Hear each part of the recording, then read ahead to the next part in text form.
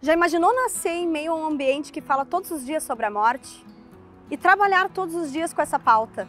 Eu sou a jornalista Fernanda Pandolfi e esse é o Fale-me Mais sobre isso.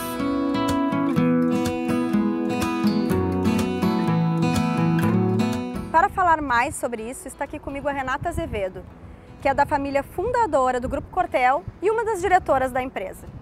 Então, Renata, tu nasceu já convivendo né, com a história da morte, com o cemitério, com, com o negócio da, da família. Como que é para ti essa relação é, empresarial né, com um tema que para as pessoas não é comum? É, eu cresci uh, brincando uh, pelos corredores dos cemitérios e já desde de muito pequena vinha para o dia de finados para ajudar a localização dos falecidos, porque as famílias tinham dúvidas de onde era exatamente o seu jazigo, então trabalhava com listagens grandes e, e buscando os nomes para ajudar na orientação é, das pessoas que visitavam o cemitério.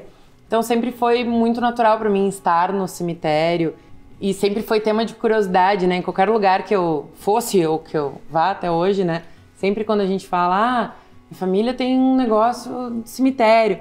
Como assim? O que você? Ah, teu pai é coveiro? Não daí explica, né? E aí, conforme a gente começa a falar, normalmente começa como uma piadinha, alguma coisa, mas as pessoas acabam tendo curiosidades de verdade, assim, sobre o assunto e começam a perguntar, perguntar, e aí acaba que o assunto normalmente se torna mais mais sério, porque as pessoas têm muita curiosidade, mas não surgem muitas oportunidades como essa. E aí acaba que quando a gente começa a falar no assunto, a gente começa a trazer o assunto para as pessoas e elas vão na brincadeira tirando as suas dúvidas, né, sobre essa área. O que a gente faz hoje e o que a gente faz ao longo dos quase 60 anos é, de história que essa empresa tem, nos traz um orgulho enorme e nos traz um orgulho olhar para todos os desafios que as nossas equipes passam. Todos os dias, às vezes, são atendimentos complicados, delicados e fazer o que a gente faz da forma como a gente faz, que é o principal, que é uma forma que nos orgulha demais. Bom, tu é formada em jornalismo e acaba que hoje é diretora de operações dentro da empresa, então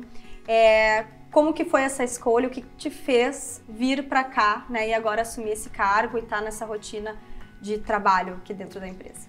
A gente tem valores aqui no Grupo Cortel que são os mesmos valores da nossa família.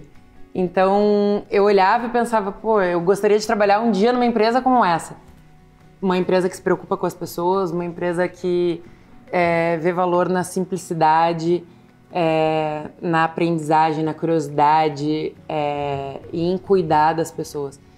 Acabei indo fazer jornalismo por, por enfim, questões de afinidade é, com a matéria de jornalismo, né?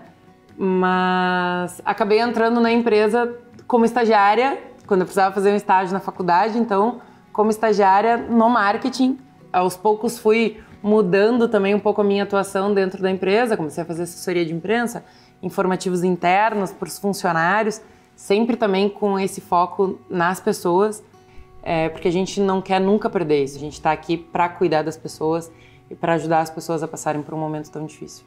Como a gente sabe que tem esse tabu, a gente está fazendo essa websérie né, para falar mais sobre esse tema. É, imagino que deve ter muitos desafios de trabalhar numa, numa área como essa. Então, qual o grande desafio no teu ver hoje de trabalhar com luto, com morte, com ressignificação?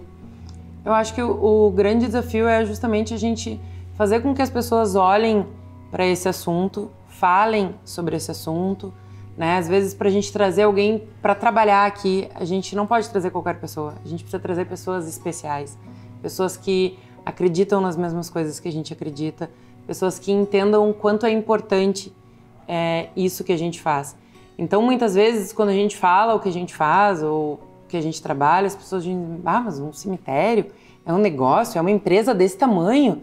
Nunca pensei. Porque, de fato, as pessoas não olham para o nosso negócio como um negócio.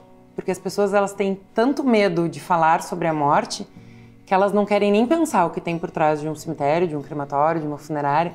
Então, acho que esse é o nosso grande desafio, é, é a gente começar a desmistificar um pouco esse assunto e trazer esse assunto mais para a pauta das pessoas.